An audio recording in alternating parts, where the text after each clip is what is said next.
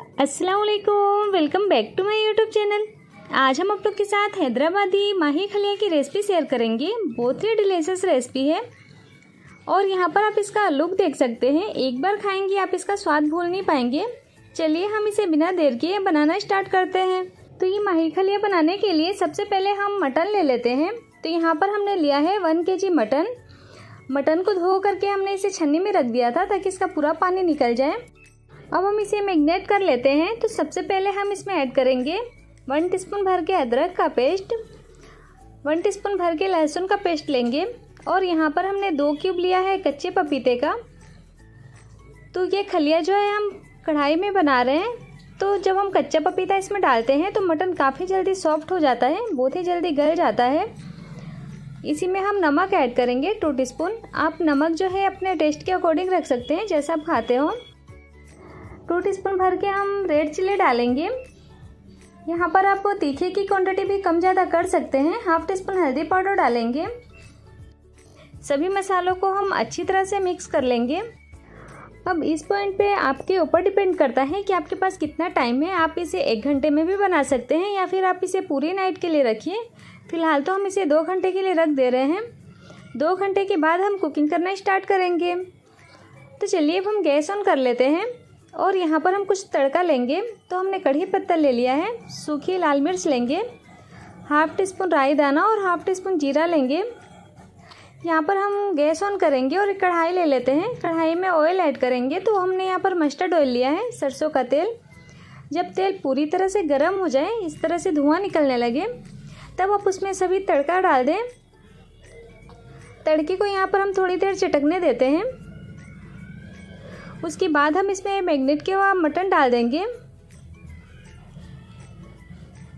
और high flame पर हम मटन को तीन से चार मिनट अच्छी तरह से भून लेंगे। जब मटन की यहाँ पर अच्छी तरह से भुनाई हो जाए, तब आप इसमें टमाटर ऐड कर लें। तो यहाँ पर हमने मीडियम साइज़ का दो टमाटर लिया है। टमाटर को हम इस तरह से स्लाइस में काट लेते हैं। मटन में ऐड करेंगे। एक बार और हम इसे अच्छी तरह से मिक्स कर लेते हैं। गैस की फ्लेम को बिल्कुल लो करेंगे। और तकरीबन हम इसे 20 मिनट के लिए कवर कर देते हैं। गैस के दूसरे बर्नर पर हम मसाला रेडी कर लेते हैं। तो यहाँ पर हम एक पैन लेंगे। पैन में हम कुछ मसाले रोस्ट करेंगे। तो सबसे पहले यहाँ पर हम लेंगे मूंगफली का दाना, सिंग। उसे हम रोस्ट करेंगे।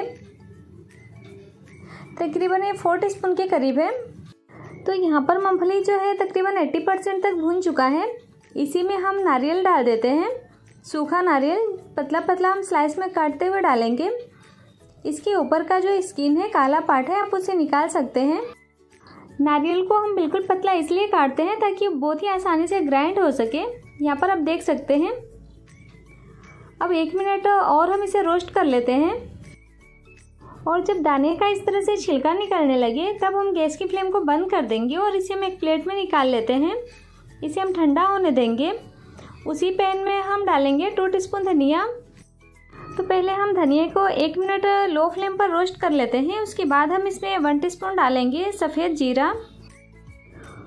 और one and half teaspoon हम इसमें ऐड कर लेते हैं सफ़ेद तिल। इससे जो है माही खलिया में बहुत ही अच्छा सा टेस्ट आता है। लो फ्लेम पर हम दो मिनट और सभी मसालों को भून लेते हैं। यहाँ पर जो है मसाला अच्छी तरह से भून चुका है तो अब हम इसे एक प्लेट में निकालेंगे। उसी पैन में हम दो प्याज को इस तरह से क्यूब में काट लेते हैं। वो ऐड करेंगे और वन टीस्पून के करीब हम इसमें ऑयल डाल देते हैं। गैस की फ्लेम को हमने बिल्कुल लो किया है। इस स्टेप पे हमें प्याज को ज़्यादा ओवर कुक नहीं करना है। हल्का सा हमें सिर्फ़ सॉफ्ट करना है। इसी में हम हाफ़ टी स्पून के करीब ऑयल डाल देते हैं।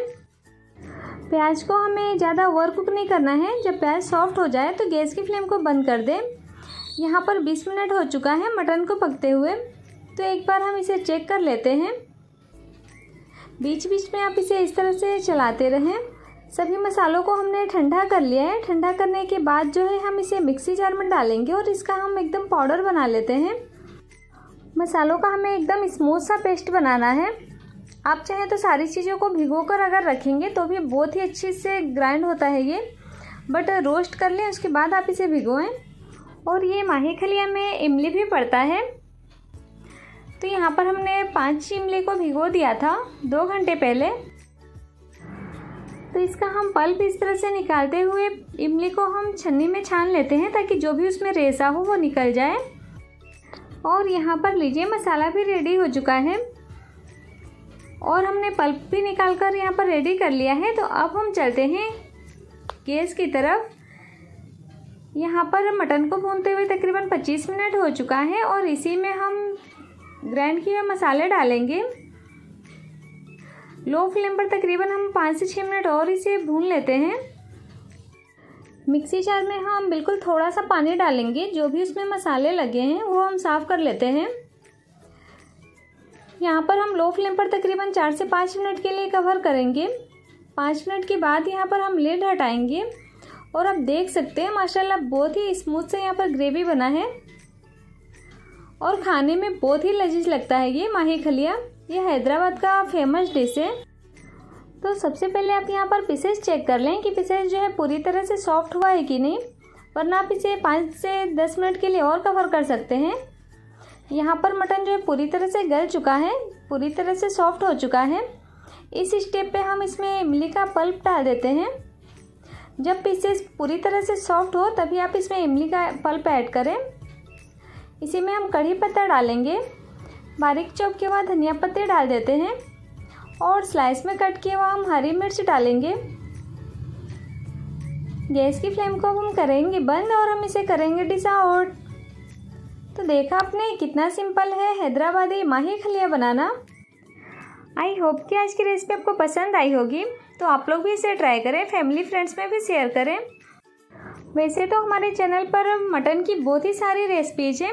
डिस्क्रिप्शन में हम लिंक दे देंगे, आप लोग ज़रूर ट्राई करें।